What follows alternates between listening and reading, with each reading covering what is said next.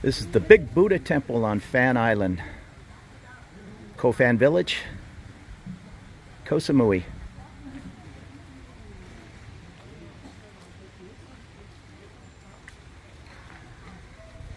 And many of these Buddhist temples, there's even robes available. Um, she just asked this young lady to leave because she was wearing a pretty tight, I call it a halter top with little side boobage going on. So one of the caretaker ladies said, no, no, no, go down there and put a robe on. And she just stormed away. So respect the local customs. Like I say, um, even shorts aren't supposed to be happening. There's three people in shorts coming down now. And, you know, I would hope that at least leave uh, a small donation. Well, I just asked the uh, the lady who chased the lady away wearing the halter top, um, hey, I'm wearing shorts. And she says, no, shorts for a man, no problem. So maybe it's a little bit different rules for a guy wearing shorts in 95 degree weather and a, a lady wearing a halter top. Just keep that in mind. You want to be respectful. I did drop a, a whopping 20 baht note in the donation box and she was appreciative of that.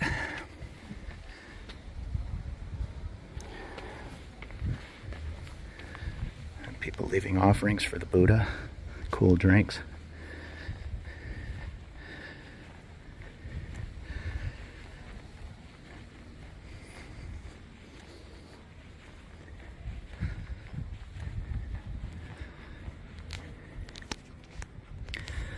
I'm interested to find out about the uh, sailboat scene here in Thailand. I've always been a sailor.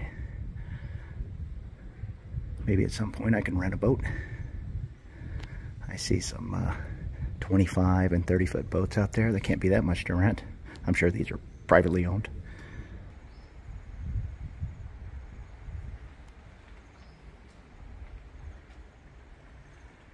All right, so it looks like uh, the young lady went and bought a shawl or cover up. I think she's Thai. Wanted to come up and pay her respects. So that's all they ask. They just don't really want uh, sexy clothing at a Buddhist temple. Another sign pointed out, please don't use the Buddha for decoration.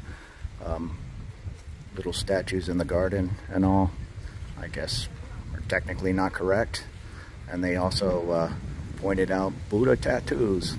Not cool. Beautiful homes up on the hillside. You'll find you'll find every level of home here. Million dollar homes down to uh, more affordable apartments to rent. But Koh Samui, like its uh, sister island, resort island Phuket, there are some very, very expensive, beautiful homes even a, uh, an affordable home, you're still on a beautiful island. So that was nice and certainly a nice lookout.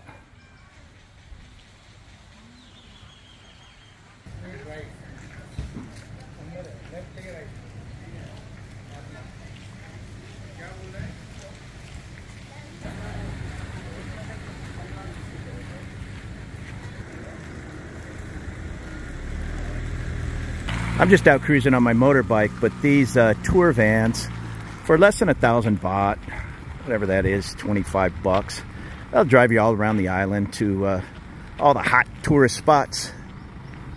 So that's probably something I should have did, but I'm just out driving around and when I see a sign, I head off and check it out.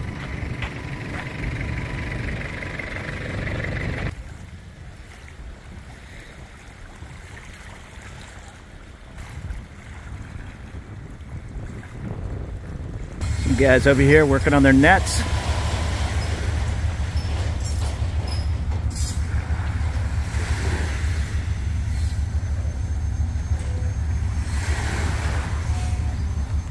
Like some dive boats.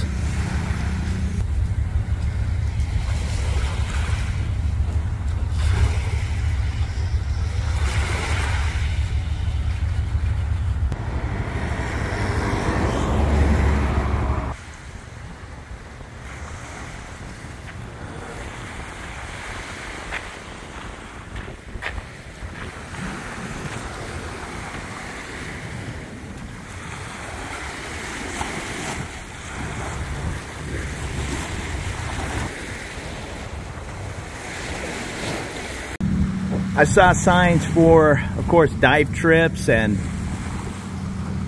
booze cruises. A bunch of private yachts out. Looks like some high-speed dive and snorkel boats. It is about 2 in the afternoon, so probably a lot of the boats are out. And I also saw advertising for the full moon party.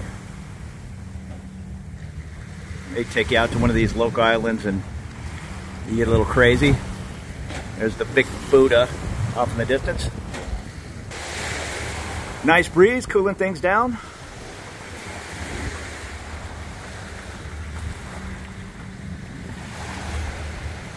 I also see jet skis over there for rent.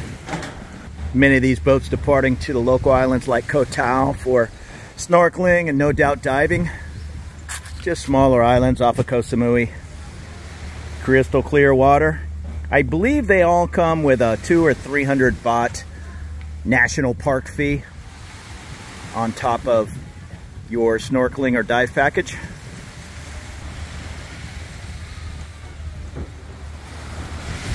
I imagine some of these fancier boats like that trimaran may be available for bareboat charters. You fly over and charter the boat for thousands and thousands of dollars maybe hire a, a Thai captain would be a good idea. Take you to all the local hot spots and anchorages. He knows exactly how the reef is and any danger spots. I'm gonna guess this is a little classroom setup. Right as I walked up, uh, they rushed out, of course, trying to sell me a snorkel trip or whatnot. That's, that's their business. And then these maps, they're probably showing you exactly where the boats are going. And here's the high speed boats. There's also slower boats. Let me see if I can find one. Nah, they're probably all out. I think the slower boats return at 5, 6 p.m. These are the high speed boats. So if you're in a, a bit of a hurry, you just want to do a three, four hour snorkel as opposed to an all day event, this is what you're going to go for, the high speed boats. And of course, they're going to teach you about not walking on the coral. And over here, you kind of have to use sunblock. It's not a great idea. There's different sunblocks that are more reef friendly, I guess, but the, the little bit of damage you might be doing wearing that sunblock, you're gonna you're gonna save yourself for uh, being sunburned on your whole vacation. So wear some good sunblock.